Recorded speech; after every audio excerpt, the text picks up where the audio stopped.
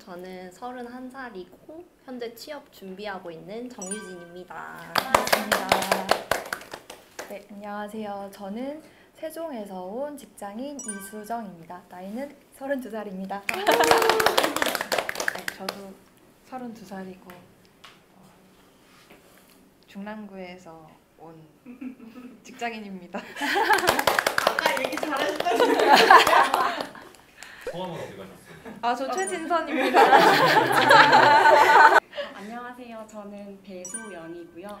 어, 경북 구미에서 왔고 나이는 35살이고 현재 현재까지 공무원 시험을 준비하고 있습니다.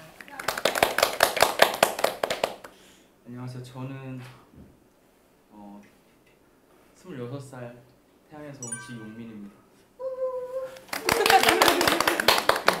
저는 아예 몰랐어요. 아니 68회랑 69회를 다 풀었는데 그 풀면서도 엄청 많이 틀렸거든요. 그래서 그게 쉬운 시험인지 어려운 시험인지 아예 감으로 가- 처음 보는 거라서 그냥 이번에 시험 보면서도 아 원래 이런가 보다 하고 그냥 음, 풀고 아 어렵다 어렵다 어렵다 하면서 풀었던 것 같아요. 음, 맞아. 69회차, 68회차 다 미리 풀어봤었고 그때도 점수는 뭐 만점은 당연히 아니었지만 그때보다는 70회가 가장 어렵게 느껴지긴 했어요. 시험장에서 막상 풀다 보니 3점 아니어도 굉장히 어려운 문제들이 좀 있었고 그래서 만점은 당연히 기대를 못 했거든요. 제가 별표를 치면서 마지막까지 남겨놓은 문제들이 너무 많아서 저도 기출 500제 그 최태성 선생님 기출 500제를 풀었었는데 59회까지 풀었는데 1급은 계속 나왔거든요. 근데 시험을 딱 보러 가니까 당연히 잘 보겠지, 잘 보겠지 하고 갔는데 3번부터 딱 막히기 아. 맞아, 맞아, 맞아. 이게 답이 보통 같으면 장수왕, 흥양천도 막 이런 게 나와야 되는데 동성왕 막 결혼. 동맹 이런 게 나오니까 근데 저는 사실 어렵기는 했는데 제가 생각한 것보다는 어. 어렵다고는 생각은 안 했어요. 빡세게 공부하셨구나. 아까 3번이 어렵다고 하셨는데 그 65회 하는 거 풀어보시면 똑같은 3번에 문주왕 관련된 아. 기출 문제가 문주왕이 나오고 그 문주왕이 나온 이유는 계루왕이 전사해서 음. 완전 똑같은 장소 똑같은 주제의 문제가 나와서 어, 저는 오히려 아 풀만했다 되게 그랬구나. 이렇게 연결되는구나 역시 기출 문제는 정말 중요하구나 이런 기출 맞아. 네, 저도 저- 했었어요. 네. 저도 시, 저는 시대별도 풀었고 기출 500제도 풀었거든요. 음. 그러니까 일주일 한 주는 시대별을 풀고 한 주는 500제를 매일 두 개씩 해서 풀었는데 이제 그래서 사실 시험 보러 갔을 때 조금 저도 시험이 어렵다기보다는 사실 항상 선생님 얘기하시는 것처럼 문제에 항상 명확한 답을 두고 나머지에 좀 다른 보기를 음. 둔다고 하잖아요. 그래서 문제 자체는 답이 굉장히 명확했던 것 같고 맞아, 네, 네. 맞아요. 근데 음. 나머지 보기가 어 근데 이 문제 이 보기가 나온다고 조금 이렇게 생각했던 네, 것 같아요. 예, 예. 그래서 저는 이제 문제 풀고 다 풀었는데 시간이 너무 많이 남은 거예요. 그래가지고 한 번 더 풀고 마지막에도 한 번 더 풀고 해서 거의 세 번 풀다가 10분 남겨놓고 나온 거예요. 다들 언, 빨리 나오셨는지 좀 제일 마지막까지 채우고 나오셨는지 좀 궁금하긴 하거든요. 다들 저도, 저도 세 번 풀고 어, 세번 풀고 한 5분 남았을 때 나온 것 같아요. 아. 저도 세 번 이런 건 아닌데 체크하고 넘어간 게 너무 많아서 뭐 연기의 소문, 도교 뭐 이런 거 어. 나 맞아. 아, 그거 약간 도교가 맞아. 이게 뭐야? 3번부터 이미 멘탈이 약간 그래서 아 끝에 가면 좀 쉽겠지 근데 할수 현대사에서 현대사가 되게 꽤 많이 나와서 어 맞아요 맞아요. 500제 풀 때는 현대사 비중이 그렇게 많지 않았던 것 같은데 음. 이번에는 조금 비중이 높았던 것 같아요. 기대를 많이 했거든요. 이번에는 어떤 문화재가 나올까 음. 이렇게 두근두근하면서 시험 문제 풀- 풀었는데 도교가 나오는 거예요. 뭐 도교가 나오고 또 이제 그거 문제 말고도 대부분 종교 관련된 문제가 음. 나왔어서 되게 당황을 했던 기억이 있어요. 맞아요. 음. 저는 문화를 그냥 포기한 하고 아. 시험을 가- 봤거든요. 문화 아예 문화제도 마지막에 시험 보기 전날 밤에만 휘리릭 그냥 넘기듯이 보고 아 이거는 내가 더 이상 공부할 수 있는 내용이 아니다라고 생각하고 버- 사실 버리고 어. 시험장 갔는데 다행히도 제가 기억나는 게 어. 나와가지고 맞아요. 문화가 어렵지 않아. 맞아요 어렵지 않게 나왔어요 어렵지 문화는. 맞아요 문화재가 다 비슷하게 생겼잖아요 음. 그냥 뭐 주심포가 뭔지도 모르겠고 사실 뭐. 저는 그런 주심포 이런 걸 잘 모르니까 직접 가서 봤거든요. 우와. 아, 영주 부석사 가면 주심포 양식 어. 그거 있잖아요. 대단하시네. 저도 시험 준비하면서 부여가 가까워가지고 갔었거든요. 저도 아, 부여도 오셨어요? 네, 익산. 아 정림사리석탑을 저는 처음 본 것 같은데 보니까 왜 눈물이 나는지 모르겠는 거예요.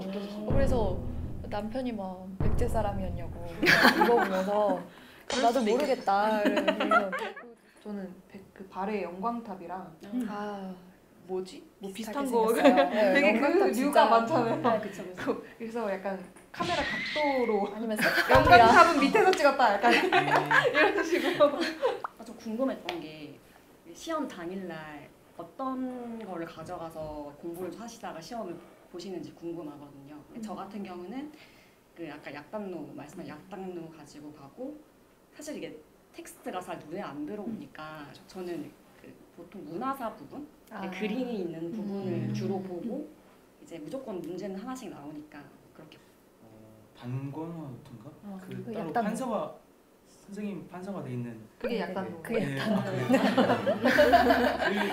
그, 그거를 그거를 보고 왔거든요. 거기다 그거는- 필기도 했어요. 음. 맞아요. 거기다 맞아 맞아 하고 거기에다가 음. 필기를 맞아. 좀 자기만의 오답을 네네. 맞아. 그래서 들고 다니기 편하니까. 어, 맞아요. 이번이 다섯 번째였어요 시험이 이제 예전엔 대학생 때 그냥 시험 삼아 그냥 공부하면서 봤던 거고 지금 이제 직장인이 돼서 내가 다른 직업을 찾으려고 이제 음. 공부를 하게 된 거잖아요 그러다 보니까 저는 여러 번 시험을 봤을 때 약단노를 들고 가도 결국엔 그거를 못 보겠더라고요 그러니까 아. 집중이 안 되는. 거예요 왜냐면 옆에 주변. 사람들이 계속 책 넘기고 아, 있고 맞아 맞아 맞아 왔다 갔다 하고 이런 상황에 집중이 전혀 안 돼서 저는 그냥 전야제 때 들었던 내용 중에 전야제 내가 아 이거 나 꼭 알아야겠다. 이거는 음. 까먹으면 안 되겠다 싶었던 내용들 작은 종이에다가 적어가지고 그거 그냥 그것만 들고 가서 시험 직전까지 그것만 봤던 것 같아요. 네. 음. 전야제 적중률 진짜 높죠. 전 덕, 덕수궁이 소름 돋았어 아 맞아 덕수궁은 덕수궁 소름 어 맞아. 아, 그냥 덕수궁은 문제를 보자마자 소름이 쫙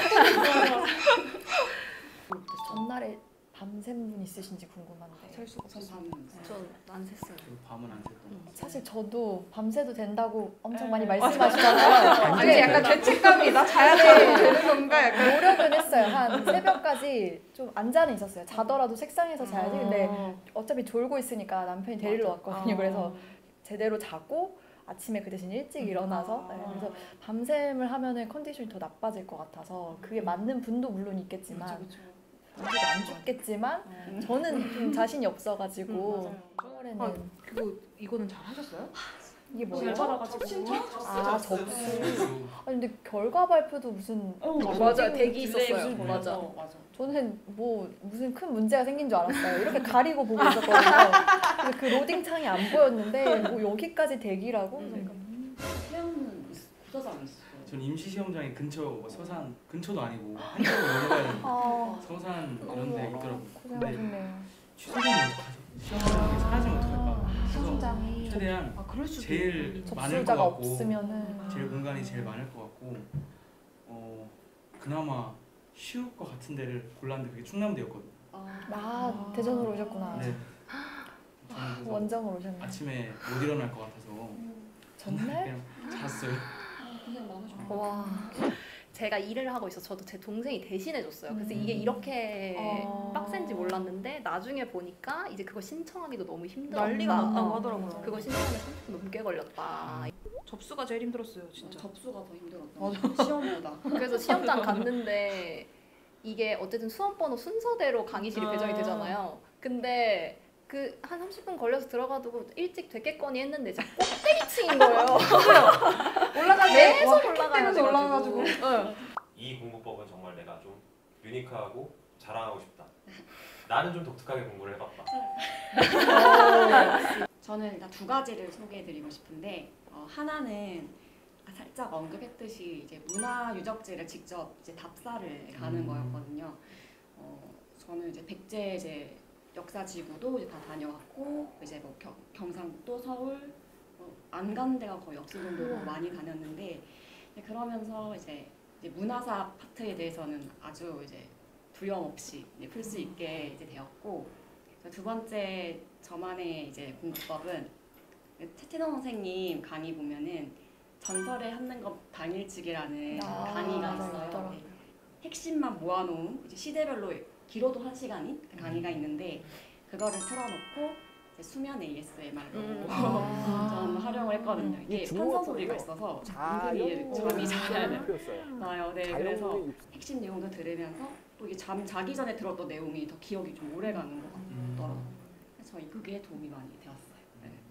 저도 비슷한 계열로 이제 전, 전날 복습 그거를 전복? 전복. 네, 네. 그거를 설거지할 때 틀어놓고 어. 완전 맞아. 공감해요. 어, 설거지할 때 틀어놓고 그냥 샤워하면서도 이렇게 틀어놓고 그러, 그랬던 것 같아요. 그게 되게 근데 은근히 핵심 쏙쏙 집어주면서 중간중간 선생님 쉬실 때도 나도 쉬고 개념이 몰아치지 않아서 좋더라고요.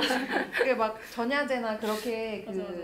그렇게 음. 한 시간 집했던. 건 너무 나한테 개념을 막 이렇게 몰아치는데 네. 전날 복습은 막 몰아치지는 않아서 저는 그 전자 CBT로 문제를 풀었거든요. 그게 뭐예요? 아, 전자 CBT가 티 들어는 본것 같은데 뭐였죠? 전자 CBT가 그 한번 인터넷 설명이 안 되나요? 뭐예요? 그 그런 게 있구나. 네. 그래서 그 기초 500제 문제를 풀었었잖아요. 근데 저는 여기다가 체크를 다 해놔서 음. 연필로 지우니까 문제가 다 사라지더라고요. 그러니까 이미 지우개 자국으로 아 내가 풀었던 답이 다 드러나더라고요. 아, 그래서 아 아 그래서 전자. 전자 CBT에 쳐가지고 그 69회부터 59회까지 그 계속 그 모의고사를 랜덤으로 계속 나오게끔 해서 100점이 나올 때까지 계속 같아요.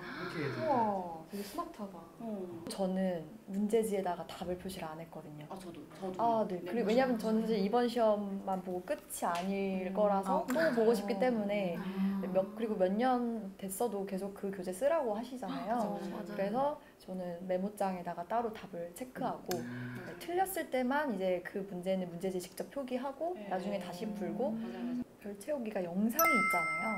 그 맞아요. 유튜브에 어, 올려놓으신 거를 저도 그 음. 좀더 이따가 알게 됐는데 회사에서는 사실 업무 시간 외에는 뭐 예를 들어 화장실을 갈 때 별채우기를 음소거로 틀어놓고 틀어놓고 가서 네, 아, 왜냐면. 별채우기가 굉장히 도움이 많이 된다고 들어서 아 대박이다. 네 제가 68회 시험을 잘 못 봤던 이유가 별채우기만 잘 알고 있었어도 음. 알았을 어. 개념들을 어. 놓친 게 많아서 그렇게도 많이 했었어요. 근데 저는 이제 일을 하면서 공부를 하다 보니까 이게 주말에 강의를 몰아듣고 주말에 맞아. 복습을 해야 되고 하다 보니까 이게 강의를 듣는 와중에 앞에 내용은 이미 날아가고 없어지더라고요. 그쵸, 복습을 그쵸. 못 하니까. 그래서 저는 오히려 별 채우기를 좀 활용했던 아, 것 같아요. 그쵸. 그래서 이제 출퇴근 시간에 좀 하루에 내가 오늘 다섯 강은 별 채우기를 꼭 한다 음. 이렇게 마음을 먹고 지하철에 앉아서 혼자 이거 넘기면서 별 채우기를 대단하시다. 했는데 대단하다. 이제 별 채우기를 하다 보니까 이제 나중에는 그 별만 좀 생각이 나는 거예요. 이 전체 내용을 기억을 하고. 활용을 해야 되는데 아. 이 별만 채우려고 하는 것 같더라고요. 음. 그래서 저는 나중에 그래서 그 주변에 있는 힌트가 될 만한 것들도 다 그냥 아. 화이트로 지워가지고 와. 그래서 대단하다. 뭔가 뭐 정도전의 불시잡변, 뭐 불교 비판 이런 식의 내용이 있으면 앞에 뭐 정 땡땡은 살려도 돼 뒤에 불시 땡땡 있으면 불시까지 다 지워버리고 해서 뭔가 이 보기에서 내가 좀 힌트를 얻을 수 있는 음. 걸로 해서 내가 이걸 좀 정확하게 알아야겠다 음. 하는 문항들은 오히려 조금 화이트로 지워가지고 그렇게 해서 공부했던 게 조금 도움이 됐던 것 같아요. 그래서 복습을 안 했음에도 불구하고 나중에 시대별 기출문제집 풀 때 이 별 채우기만 하고 1회독만 했는데도 많이 안 틀리는 거예요. 음. 응. 그래가지고 아 이 별 채우기가 되게 의미가 있구나 라고 그때 좀 생각했던 것 같아요. 저도 말씀하셔서 생각났던 건데 제가 지금 공무원 준비생이잖아요.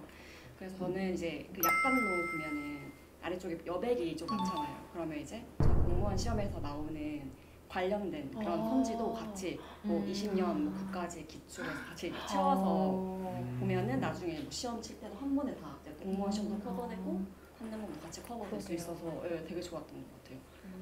아 저는 그리고 삼국 시대부터 주요 왕들은 순서를 다 외웠어요. 음. 저- 순서 외우고 이 사람이랑 이 사람이랑 만났고 이 사람이랑 만났고 아 맞아 맞아. 이걸 좀 체크하면서 거란 침입, 침략군. 호족, 호족 집권 시기, 아. 뭐 태정 강경 태- 이렇게 테마식으로. 어, 그런 식으로 해서 이렇게 외워도. 그렇게 하니까 조금 문제 풀기가 조금 쉬웠어요. 오 맞아 맞아. 아예 외울 생각도 안 해봤네. 저도 외울 생각은 어. 아 시간이 없으니까 아, 시간이 있는데도